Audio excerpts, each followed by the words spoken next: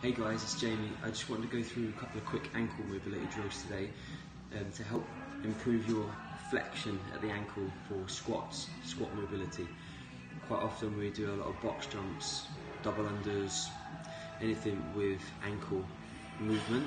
The calf can get really tight and matted up. So if we can release some of this pressure and increase the flexion at the ankle joint, it's going to help you with your squats. So the first one, you're going to grab a foam roller Place the meaty part of the calf on the foam roller. Lift your hips off the floor if you can.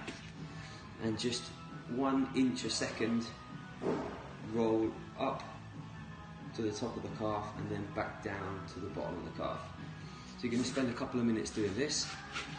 Just be careful not to go over the back of the knee, so just keep it in the muscle.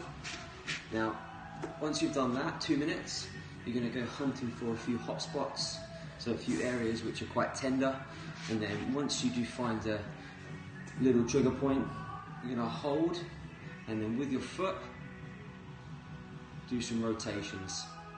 Forward to the left, and then forward to the right. This is going to help to release the tension and hopefully give you better flexion at the ankle. So once you've done that with the foam roller, you're going to grab a kettlebell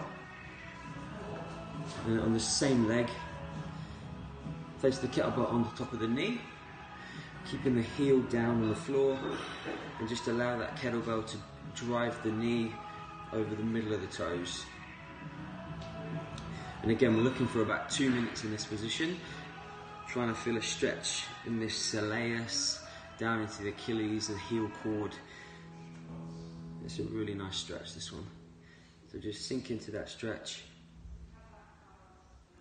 and you'll find that your knee will slowly creep over that toe. Okay, there you go. And spend two to three minutes on each movement, um, and hopefully you have better ankle flexion.